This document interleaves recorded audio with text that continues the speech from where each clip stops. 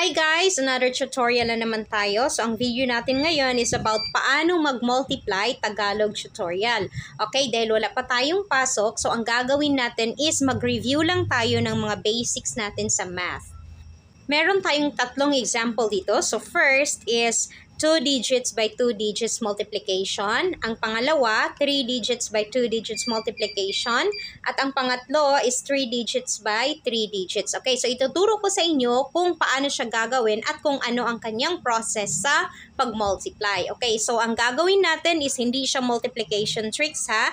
Ito is kung paano tayo mag-multiply, kung ano yung process niya, kung paano natin siya gagawin. Example number 1 tayo. So, 98 times 36. Okay, kapag nagmo-multiply tayo, ang gagawin natin is uunahin natin ang nasa ones place or yung nasa right side. Okay, so ang nasa ones place natin is itong si 8 at si 6. Ito yung nasa right side.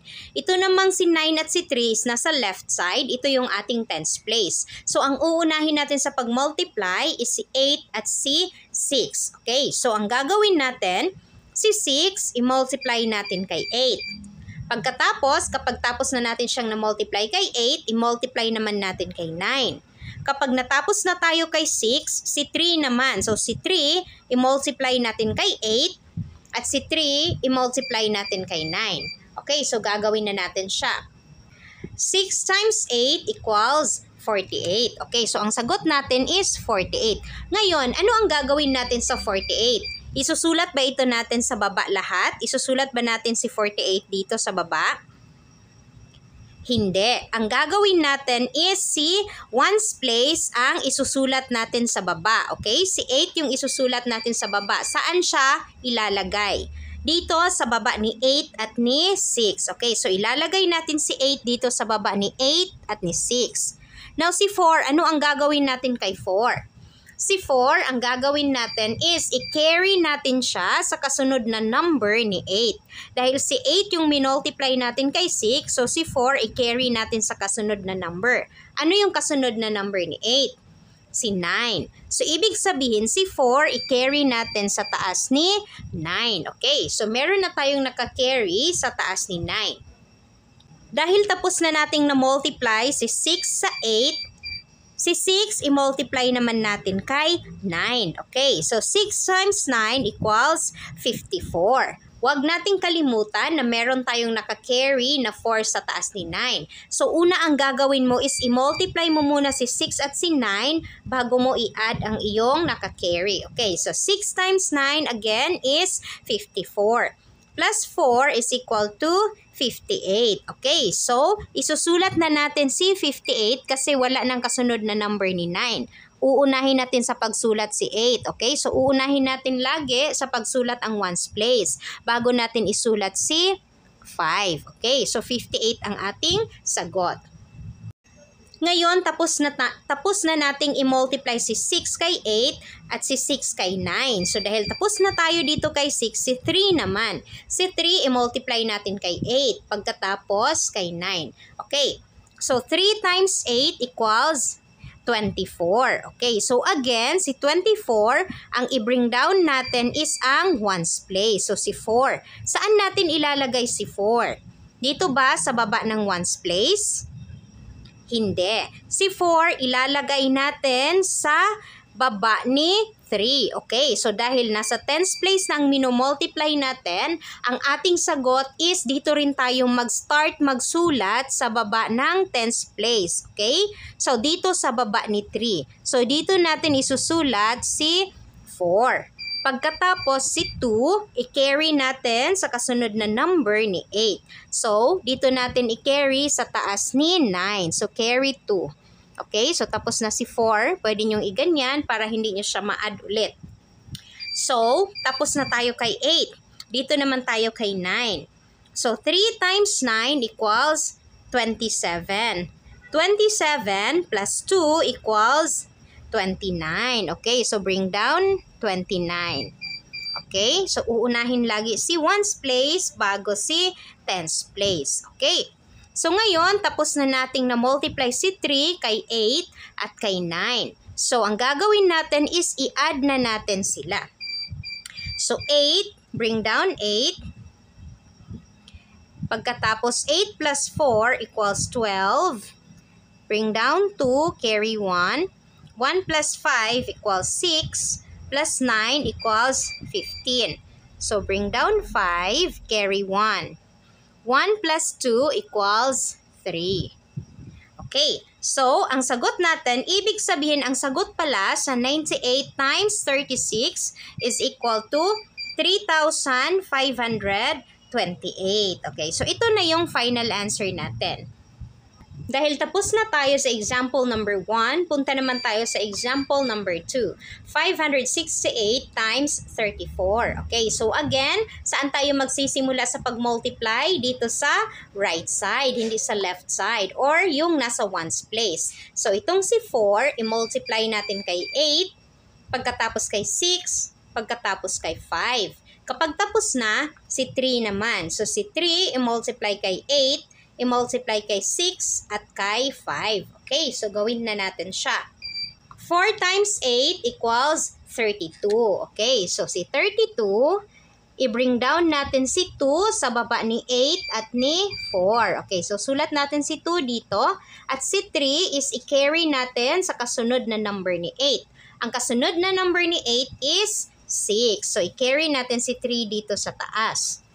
So, dahil tapos na tayo kay 4 times 8, dito naman tayo kay 6. So, 4 times 6 equals 24. At huwag nating kalimutan na meron tayong naka-carry. So, 24 plus 3 equals 27.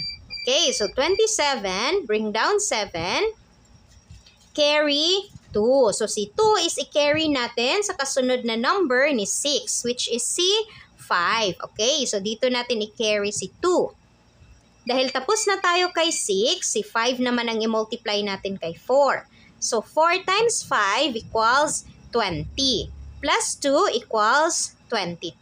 Okay, so i-bring down na natin si 22 kasi wala na tayong pwedeng mapagkirihan ng number natin. Okay, so tapos na tayong nag-multiply kay 4. Dito naman tayo kay 3. 3 times 8 equals 24. Okay, so bring down 4 tayo. Saan natin ilalagay si 4? Dito sa baba ni 3. Kasi nasa tens place na yung minultiply natin. So sa tens place din tayo mag-start, magsulat ng sagot. Okay, so dito natin ilagay si 4. Pagkatapos si 2, i-carry natin sa kasunod na number ni 8. So si 8, ang kasunod na number niya is si 6. So, carry 2 tayo dito kay 6. Okay, so tapos na si 3 at si 2. So, ngayon, 3 times 6 equals 18. Plus 2 equals 20. So, bring down 0. Carry 2 sa kasunod na number ni 6 na si 5. Okay, so dito natin ilagay si 2. Dahil tapos na tayo kay 6, kay 5 naman. So, 3 times 5 equals 15 plus 2 equals 17. Okay, so isulat na natin lahat kasi wala ng number na pwedeng mapagkirihan. Okay, so pwede na natin siyang i-add. So bring down 2, 7 plus 4 equals 11. Bring down 1, carry 1. 1 plus 2 equals 3. 2 plus 7 equals 9. And then bring down 1. Ayan. So, ang sagot natin sa 568 times 34 is equal to 19,312. O, di ba napakadali lang mag-multiply? Basta tandaan nyo lang yung process natin. So, nasa third example na tayo, which is 3 digits by 3 digits. Okay? So, 457 times 243. So, again, saan tayo magsisimula sa pag-multiply? Sa right side or dito sa ones place. Hindi tayo dito sa left side ha. So ang nasa ones nasa left uh, sorry, nasa right side or nasa ones place is si 7 at si 3. So si 3 i-multiply natin kay 7, kay 5 at kay 4. Kapag tapos na, si 4 naman. Si 4, i-multiply natin kay 7, kay 5, at kay 4. Kapag tapos na, si 2 naman. So, si 2, i-multiply kay 7, kay 5, at kay 4. Pagkatapos, i-add natin ang ating mga partial product at meron na tayong final product. Okay? So, gawin na natin siya. So, si 3, i-multiply natin kay 7. So 3 times 7 is equal to 21. Okay, so bring down 1, carry 2. So si 2, i-carry natin kay 5 kasi si 5 yung kasunod na number ni 7. Okay, so carry 2. So tapos na tayo kay 7. Dito naman tayo kay 5. So 3 times 5 equals 15 plus 2 equals 17. So bring down 7, carry 1 kay 4. Kasi si 4 ang kasunod na number ni 5. Okay, carry 1. Dito naman tayo sa kay 4. Okay, so 3 times 4 equals 12. Plus 1 equals 13. Okay, so isusulat na natin si 13 kasi wala na tayong mapagkirihan. Okay, so una natin isulat ang ones place na si 3 bago si 1. Tapos na tayo kay 3, so dito naman tayo kay 4. So, 4 times 7 equals 28. So, bring down 8. Saan natin isusulat again si 8? Sa baba ni 4. Okay, so dito si 8. Carry 2. Saan natin i-carry si 2? Kay 5. Okay, tapos na itong dalawa. So, carry 2 tayo dito. Pagkatapos, then tapos na tayo kay 7, kay 5 naman. So, 4 times 5 equals 20. Plus 2 equals 22. So, bring down 2, carry 2 kay 4. Okay, carry 2 again. Next, 4 times 4 equals 16. So, 16 plus 2 equals 18. Okay, so isulat na natin lahat si 18. So, tapos na tayo kay 4. Punta naman tayo dito kay 2. 2 times 7 equals 14. Okay, 14. So, si 4 ang i-bring down natin. Saan natin isusulat si 4? sa baba ni 2. Okay? So, dito natin siya isulat sa baba ni 2. Hindi dito ha, or hindi dito. Dito sa baba ni 2. Dito tayo mag-start na magsulat ng sagot. Okay? So, bring down 4. Carry 1 sa kasunod na number ni 7. Kasi si 7 yung minultiply natin kay 2, di ba? So, dito tayo mag-carry sa taas ni 5. Dahil si 5 ang kasunod na number ni 7. So, carry 1. Dahil tapos na tayo kay 7, so kay 5 naman tayo. So, 2 times 5 equals 10. Okay? Huwag kalimutan na meron tayong naka-carry na 1. Okay? So, i-crush muna natin siya dahil tapos na sila. So, 2 times 5 equals 10 plus 1 equals 11. So, bring down 1, carry 1 sa kasunod na number ni 5. So, dito sa taas ni 4. Okay? Carry 1 tayo dito. So, kay 4 naman. 2 times 4 equals 8 plus 1 equals 9. Okay, so meron na tayong partial product. So, i-add na natin siya para meron na tayong final product. Okay, so bring down 1. 7 plus 8 equals 15. Bring down 5, carry 1.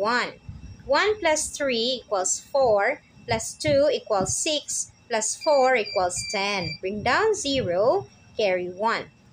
1 plus 1 equals 2, plus 8 equals 10, plus 1 equals 11. Bring down 1, carry 1. 1 plus 1 equals 2, plus 9 equals 11. Okay, so, ang sagot natin sa 457 times 243 is equal to 111,051. Okay, so ganito lang kadali mag-multiply guys. Basta i-follow nyo lang ang ating process kung paano tayo mag-multiply. At importante din na alam nyo kung ano yung sagot ng mga multiplication. So napaka-importante na memorize nyo ang inyong times table. That's all for today's video guys. See you in our next lesson. Bye!